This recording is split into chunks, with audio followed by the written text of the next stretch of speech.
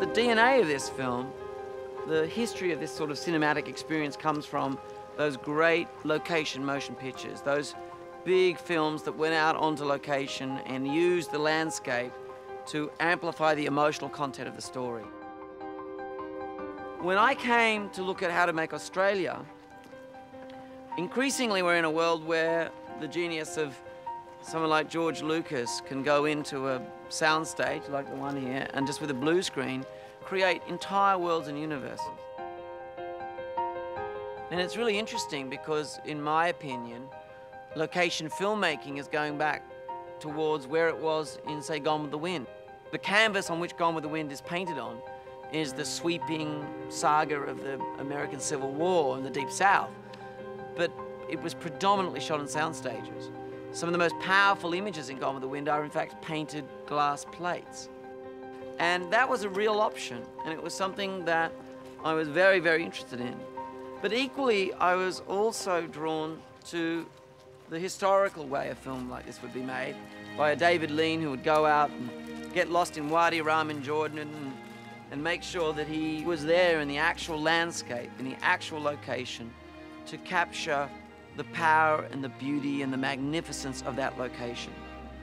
Where did we end up? In fact, we found a language that we call the Lean and the Lucas, which is really a way of using both the sound stages and location work. Baz shoots a lot of the wides and stuff and the big, big, big majestic shots on location and because of the limited amount of time and just the amount of work it goes into creating those um, epic moments, what we do is we then come back because we're not being controlled by the environment and light and we're able to control it more in a, in a studio situation.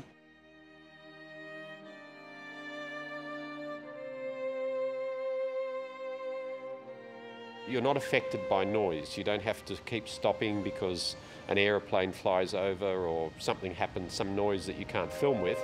People don't get cold uh, because they're out in the elements. Uh, you don't get wind. It's just a lot more controllable. Uh, on location, all these variables make it uh, slower. It's more cumbersome. It's, uh, it's not as efficient as filming in a studio.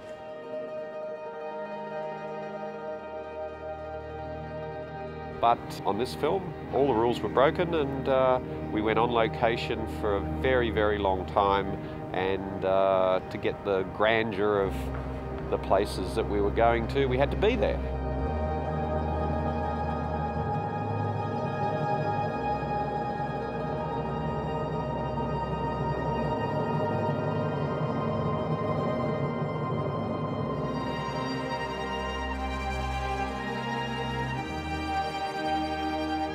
An epic in all sense of the word. Getting there, organising it when we were there, and the look of it will be epic, so it was worth going there.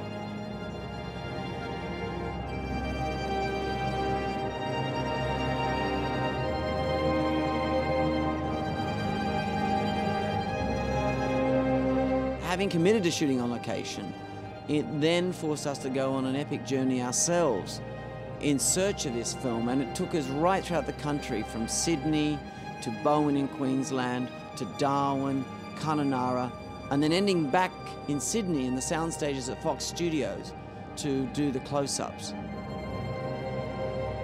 I think it was just the sheer scale of it all that we were so spread out all over the country, and it was it's the largest production that would ever have been mounted in Australia.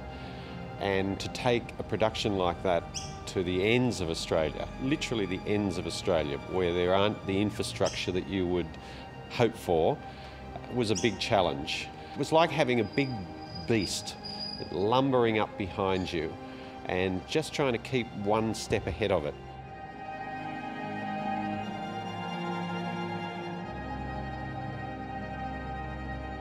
Once they started filming, It's like everything leading up to that seems to take forever, but once filming starts, it's like sands going through the last bit of an hourglass, and it seems each day seems to go so quickly. And then the next location, and then the next location. So you're constantly worried are all the permissions in place, or is the infrastructure in place? Is someone going to walk out of the woodwork and say, What are you doing here?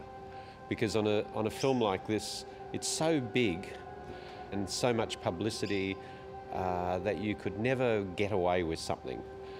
The nature of the film, we had to, we had to get permissions from everyone.